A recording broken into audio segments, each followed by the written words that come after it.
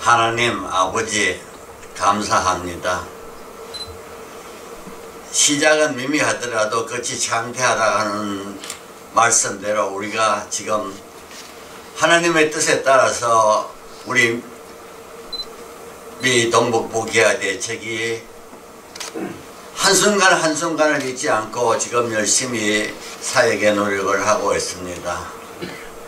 아버지 하나님 저희들을 늘 불쌍히 여기셔서 저희들이 하고자 하는 모든 것들이 하느님의 뜻에 맞게 일이 추진되고 다 진행될 수 있도록 축복하여 주시옵소서.